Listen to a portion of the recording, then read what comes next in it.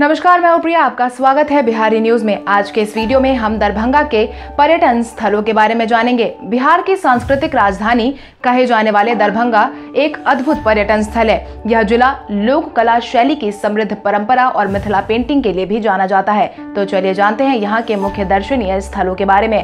पहला है अहिल्या स्थान। अहिल्या स्थान या मंदिर अहियारी गाँव में स्थित एक ऐतिहासिक प्रसिद्ध मंदिर है। रामायण के अनुसार जब भगवान राम अपने गुरु और छोटे भाई लक्ष्मण के साथ मिथिला होते हुए जनकपुर जा रहे थे तो उनका पैर एक पत्थर से छू गया और वो पत्थर एक औरत बन गई। वो औरत और कोई नहीं, अहिल्या थी। वो पत्थर इसलिए बन गई थी कि वो अपने पति गौतम ऋषि के श्राप से अभिश्रापित थी। जो स्थान पर वे पत्थर से औरत बन गई, वहीं पर यह भव्य मंदिर स्थापित है। अहिल्या स्थान में हर साल दो बार वृहत मेला लगता है। एक हिंदी महीने के चैत्र में रामनवमी के अवसर पर और दूसरा अगहन महीने के विवाह पंचमी के अवसर पर। कुशेश्वर स्थान शिव मंदिर एवं पक्षी विहार की बात करें तो यह एक शिव मंदिर है, जो कि रामायण काल का माना जाता है। यह मंदिर मिथिला में बाबा धाम के नाम से रूप से प्रचलित है। इस मंदिर में उत्तर बिहार, नेपाल और झारखंड तक के भक्त गण पूजा करने के लिए आते हैं। कुशेश्वर स्थान प्रखंड में 40 गाँव में जल जमाव है, जो कुल क्षेत्र का 7019 एकड़ ज़मीन में फैला हुआ है। इस क्षेत्र को वन जीव संरक्षण अधिनियम के तहत पक्षी अभ्यारण्य घोषित किया गया है। विशेष परिस्थिति के वाले इस भू क्षेत्र में स्थानीय साइबेरियाई तथा नेपाल, भूटान, पाकिस्तान, अफ़गानिस्तान जैसे पड़ोसी देशों से आने वाले पक्षियों की अच्छी तादाद दिखाई देती है। ललसर, दिघौज, माइल, नकटा, गैरी, अघानी, हरियल, चाहा, रतवा, गैबर जैसे पक्षी यहाँ देखे जाते हैं। आगे हम बात करेंगे दरभंगा राज परिसर एवं किला की। दरभंगा के महाराज का यह किला उत्तर बिहार के दुर्लभ और आकर्षक इमारतों में से एक है। भारत सरकार के पुरातत्व विभाग ने 1977 और 78 में इस किले का सर्वेक्षण भी करवाया था।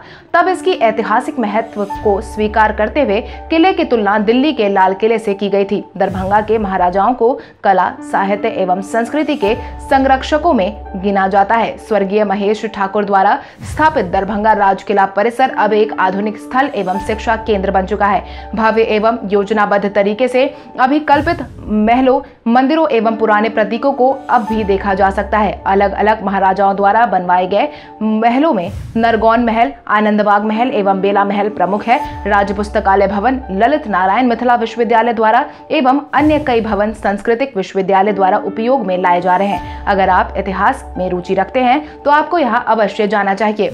अगला हम बात करेंगे होली रोजरी चर्च के बारे में। दरभंगा स्टेशन से दक्षिण की ओर दिग्धि पोखरे के पूर्वी छोर पर एक सौ नवासी में स्थापित यह गिरजाघर रोमन कैथोलिक संप्रदाय का महत्वपूर्ण पूजा स्थल है। भूकंप में क्षतिग्रस्त होने के बाद उन्नीस सौ इक्यानवे में फिर से इसका निर्माण करवाया गया। चर्च के बाहर ईसा मसीह का एक प्रतिमा बना है। दरभंगा में एक प्रोटोस्टेट चर्च भी है, जो लहेरिया सराय में स्थित है। अगर आप यहाँ जा रहे हैं तो पास में ही उन्नीस सौ छिहत्तर में स्थापित दरभंगा राज परिवार के संकलन में संबंधित महाराजा लक्ष्मेश्वर सिंह संग्रहालय भी ज़रूर जाए। यह संग्रहालय दरभंगा राज परिवार की समृद्धि का सजीव एहसास कराती है।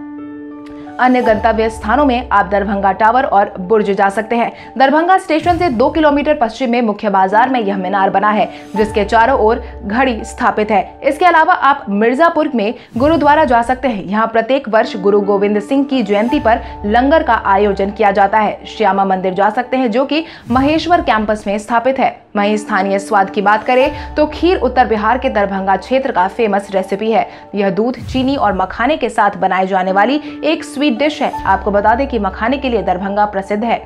तो दोस्तों, बिहार के पर्यटन स्थलों में हमने आज आपको दरभंगा ज़िले के पर्यटन स्थलों के बारे में बताया। अगले वीडियो में हम आपको बिहार के अन्य जिलों के दर्शनीय स्थलों के बारे में ज़रूर बताएँगे। अगर हमारा वीडियो आपको पसंद आया तो हमारे चैनल बिहारी न्यूज़ को सब्सक्राइब करें, वीडियो को लाइक एवं शेयर करें, बेल आइकन को ज़रूर प्रेस करें ताकि हमारा कोई भी अपडेट आप तक जल्द पहुँच सके। इसके साथ ही अगर आप इस ज़िले के हैं या आपने इस ज़िले का भ्रमण किया है तो आपके अनुसार इस ज़िले में सबसे प्रसिद्ध स्थल कौन सा है? अपना जवाब हमें कमेंट करके ज़रूर बताएँ। इसके साथ ही आज के लिए बस इतना ही। तब तक के लिए धन्यवाद।